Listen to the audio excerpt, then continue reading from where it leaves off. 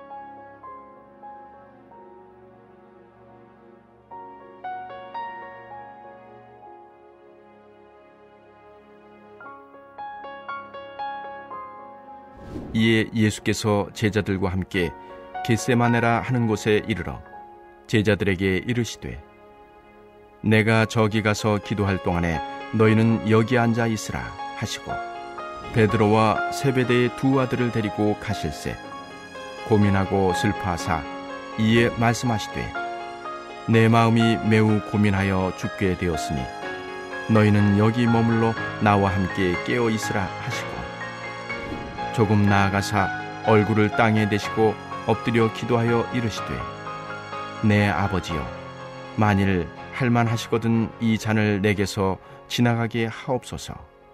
그러나 나의 원대로 마시옵고 아버지의 원대로 하옵소서 하시고 제자들에게 오사 그 자는 것을 보시고 베드로에게 말씀하시되 너희가 나와 함께 한 시간도 이렇게 깨어 있을 수 없더냐 시험에 들지 않게 깨어 기도하라. 마음에는 원이로되 육신이 약하도다 하시고 다시 두 번째 나아가 기도하여 이르시되 내 아버지여 만일 내가 마시지 않고는 이 잔이 내게서 지나갈 수 없거든 아버지의 원대로 되기를 원하나이다 하시고 다시 오사 보신즉 그들이 자니 이는 그들의 눈이 피곤함일러라 또 그들을 두시고 나아가 세 번째 같은 말씀으로 기도하신 후 이에 제자들에게 오사 이르시되 이제는 자고 쉬라. 보라, 때가 가까이 왔으니 인자가 주인의 손에 팔리느니라. 일어나라, 함께 가자. 보라, 나를 파는 자가 가까이 왔느니라. 아멘. 할렐루야. 말씀으로 오늘 하루를 살아가는 우리 모두에게 하나님의 은혜와 평강이 가득하시기를 주님의 이름으로 축원합니다. 오늘 본문 말씀은 예수님께서 붙잡히시기 전에 겟세만의 동산에서 기도하신 모습을 우리에게 증거하고 있습니다. 인류를 구원할 십자가의 고난 앞에서 예수님은 고민하고 심히 괴로워하셨습니다. 그래서 예수님은 자신의 제자들에게 기도의 부탁을 하시고 세 번에 걸쳐서 하나님 아버지께 간절히 기도하시게 됩니다. 십자가를 준비하시는 예수님의 모습과 전혀 준비되지 않은 제자들의 모습을 통해서 우리는 지금 어떠한 모습으로 예수님과 동행하고 있는지, 그리고 우리는 범사에 기도하는 삶을 진정 살아가고 있는지를 돌아보는 귀한 시간 되시기를 소망합니다. 먼저 겟세마네라고 하는 곳에 이르렀을 때에 예수님은 제자들 모두에게 내가 저기 가서 기도할 동안에 너희는 여기 앉아 있으라 라고 말씀하십니다. 그리고 기도의 자리로 나아가시면서 베드로와 야고보와 요한을 따로 세우십니다. 그리고 말씀하시기를 너희는 여기 머물러 나와 함께 깨어 있으라 말씀하십니다. 그러나 그들은 깨어 있지 못하고 잠을 자고 말았습니다. 예수님은 자고 있는 세 제자를 발견하시고 그 중에 한 제자였던 베드로에게 시험에 들지 않게 깨어 기도하라 말씀하십니다. 그러나 그들은 잠을 이겨내지 못했습니다. 예수님은 마지막으로 이제는 자고 쉬어라. 그리고 일어나라. 나와 함께 가자. 라고 말씀을 하십니다. 예수님께서 제자들을 세 번씩이나 찾아와 말씀하신 이유는 그들이 지금 기도하고 있는지 잠을 자고 있는지를 검사하기 위한 것이 아닙니다. 그렇다고 그들에게 어떠한 특별한 능력과 비밀을 알려주시기 위함도 아니었습니다. 예수님은 아픔과 고통과 괴로움 속에서 진정으로 자신과 함께 해줄 기도의 동역자가 필요하셨던 것입니다. 하나님의 아들 예수 그리스도께서 기도를 통해 하나님과 하나가 되신 것처럼 사랑하는 제자들이 이 고난의 길에서 예수님과 함께 그 길을 함께 걸어갈 수 있는 믿음의 동역자가 되기를 원하셨다는 것입니다. 기도는 생명의 호흡이라고 했습니다. 기도할 때 하나님의 뜻을 발견하게 되고 기도를 통해서 영적으로 하나가 되는 것입니다. 누군가를 위해서 합심하여 기도할 때 하나님은 기도하는 사람들과 함께 하십니다. 또한 그들의 기도 가운데 응답하시고 역사하심을 믿으시기 바랍니다. 그래서 예수님은 지금 제자들에게 나와 함께 시험에 들지 않도록 깨어 기도하기를 부탁하고 계신 것입니다. 사실 제자들은 예수님께서 무엇 때문에 저렇게 갈급하게 기도를 요청하시는지 알지 못했습니다. 지금까지 하나님의 나라를 선포하시고 병든 자를 고치시고 능력과 권능으로 5천 명을 먹이셨던 예수님이 십자가의 길을 걷게 되실 거라고는 상상하지도 못했다는 것입니다. 그래서 그들은 간절한 기도의 요청에도 육신의 고단함으로 잠을 청하게 됩니다. 그들에게는 기도의 갈급함보다 잠을 청하는 것이 우선이었기 때문입니다. 그러나 예수님은 그 길을 온전하고 완전하게 이루시기 위해서 하나님께 간절히 기도하셨습니다. 예수님의 겟세만의 기도는 세 번에 걸쳐서 진행되는데 기도가 진행될수록 예수님의 마음속에 굳건한 믿음과 결단이 점점 확고해지고 있음을 성경은 고백합니다. 이 잔을 내게서 지나가게 하옵소서라고 기도하셨던 예수님께서 이 잔이 내게서 지나갈 수 없거든으로 바꾸어 기도하십니다.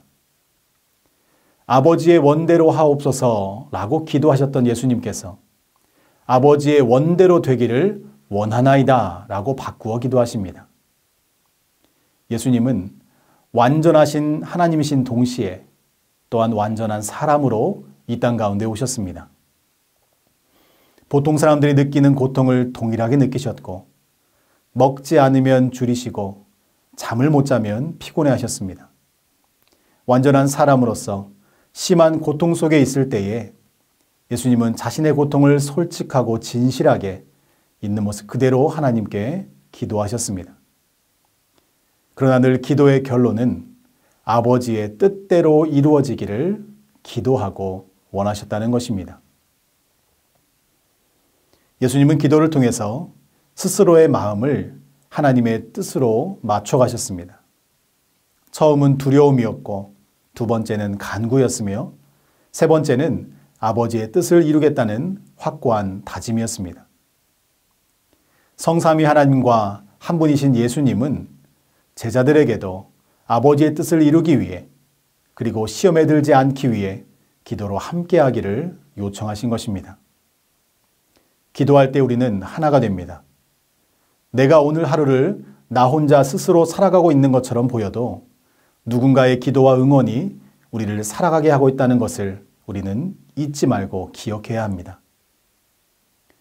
어린아이가 첫 걸음을 떼고 이제 아장아장 걷기 시작할 때 아이는 자신이 스스로 일어났고 자신의 힘으로 혼자서 걷고 있다라고 생각을 합니다. 그러나 아이가 시간이 지나서 어른이 되고 알게 되는 것이 있습니다. 내가 혹시라도 넘어져 다치지 않도록 부모님께서 두 팔을 벌려 나와 함께 걷고 계셨다는 사실입니다.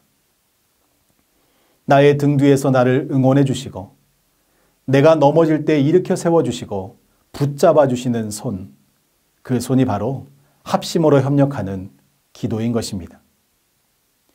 오늘 겟세마네에서 기도하신 예수님의 모습을 통해서 성경은 우리에게 중요한 영적 교훈을 알려주십니다. 그것은 예수님도 인간의 연약함으로 이 땅 가운데 계실 때 날마다 기도로 승리하셨다는 것입니다. 습관처럼 새벽을 깨워 기도하셨고 사단의 시험 앞에서도 금식하고 기도함으로 결국 말씀으로 이겨내셨습니다. 또한 십자가의 길을 준비하시면서도 지속적인 기도를 통해서 완전한 하나님의 뜻을 이루고자 힘쓰고 애써 기도하셨습니다. 기도는 하나님과의 영적 대화이면서 우리 인생의 호흡과 같습니다. 우리 육신의 기도가 막히면 숨을 쉬지 못해 살아갈 수 없는 것처럼 그리스도인들에게 기도가 끊어지고 막혀 있으면 우리의 영도 죽게 되는 것입니다.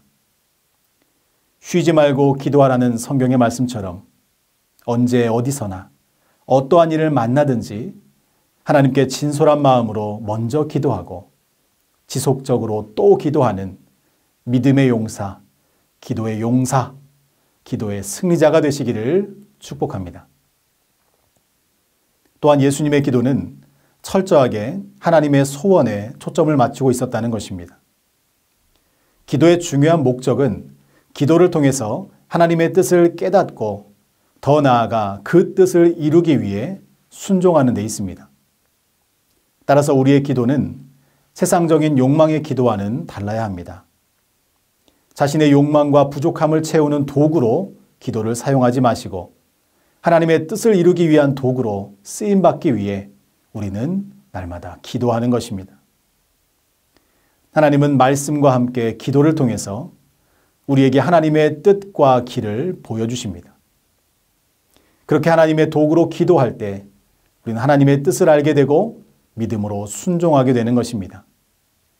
예수님처럼 아버지의 뜻이 절대적으로 선하고 의로우며 복된 길임을 믿고 나의 뜻을 굴복시키고 철저하게 아버지의 뜻이 이루어지기를 구하는 우리 모두가 되기를 축복합니다. 마지막으로 우리는 깨어 기도하는 기도의 동역자가 되어야 합니다. 시험에 들지 않게 깨어 기도하라는 말씀 앞에서 제자들은 깨어 있지 못했습니다. 제자들은 잠만 잤고 예수님께서만 홀로 기도하셨습니다. 그런데 예수님은 이제는 편히 자고 쉬어라. 일어나 나와 함께 가자. 평안과 안식과 함께 하기를 다시 한번 요청하십니다. 사실 예수님께서 부탁하신 말씀 중에 함께 깨어 있으라. 시험에 들지 않게 기도하라. 일어나서 나와 함께 가자 라는 말씀 앞에서 제자들은 한 가지도 순종하지 못했습니다. 기도의 동역자는 늘 깨어 있어야 합니다. 기도의 동역자는 같은 마음으로 함께 기도해야 합니다. 제자들이 깨어야 할 시간은 지금이 아니라 예수님께서 간절히 부탁하실 그때였다는 것을 우리는 잊지 말아야 합니다. 기도는 해야 할 때가 있습니다. 동역자라는 말은 하나님의 일을 함께하는 사람이라는 뜻입니다. 이 말은 살아있을 때, 함께 있을 때, 협력하여 같은 길을 걸어갈 때 사용하는 말입니다. 우리가 잠들어 있는 그리스도의 제자가 되어서는 안 됩니다. 깨어 기도하는 기도의 동역자가 다 되시기를 축복합니다. 사랑하는 성도 여러분, 오늘 말씀은 십자가와 구원의 길에 우리와 함께하길 원하시는 예수님의 초청과 부르심입니다. 삶의 무게가 너무나도 고단하고 지치고 쓰러질 때, 내 삶의 자리에서 신앙을 지켜내기가 너무나도 버거울 때, 그때마다 도망가지 말고, 포기하지 말고, 낙심하여 잠들지 말고, 하나님의 뜻을 이루기 위해서 깨어 기도하는 믿음의 동역자가 되라고 우리 주님은 말씀하고 계신 것입니다. 바라기는 2021년 범사의 기도로 승리하는 한 해가 되시길 바랍니다. 하나님의 뜻을 구하고 그 뜻에 순종하는 믿음의 삶을 살아가시기를 축복합니다. 그래서 늘 깨어 기도하며 하나님의 온전하고 완전하신 뜻 가운데 서로 협력하고 기도하는 믿음의 전주 안디옥교회 공동체가 되시기를 주님의 이름으로 간절히 축원합니다. 우리 이 시간 함께 기도하길 원합니다. 전주 안디옥교회 모든 성도님들이 날마다 깨어 기도함으로 하나님의 뜻을 이루기 위해 믿음의 길을 걸어가는 기도의 동역자가 되게 하여 주시옵소서. 땅 끝까지 열방을 향해 복음을 전하시는 우리 선교사님들과 농어촌 미자립교회 목사님들을 코로나로부터 지켜주시고 하나님께 영광 돌리며 귀한 사명 끝까지 이루실 수 있도록 인도하여 주시옵소서. 우리 시간 믿음으로 함께 기도하겠습니다.